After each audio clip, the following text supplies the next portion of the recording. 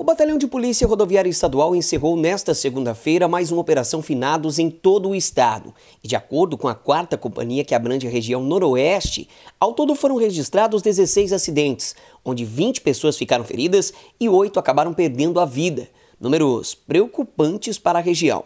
De acordo com a PRE, a maioria das causas desses acidentes foram por imprudência ou negligência por parte dos motoristas. Nas ações de fiscalizações realizadas neste período de feriado prolongado, foram capturados mais de 1.117 imagens de radares por excesso de velocidade. 196 testes etilométricos também foram realizados e duas pessoas foram autuadas por embriaguez ao volante. Uma delas, inclusive, foi presa, encaminhada à delegacia de polícia pelo crime de embriaguez.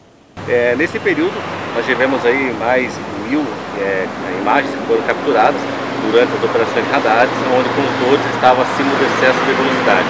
Quanto à questão da consumida alcoólica, foram realizados 196 testes de etilômetros dos condutores, das quais dois foram autuados por medida administrativa e um deles acabou até sendo preso em flagrante é, pelo crime de embriaguez ao volante, encaminhado à delegacia de polícia local.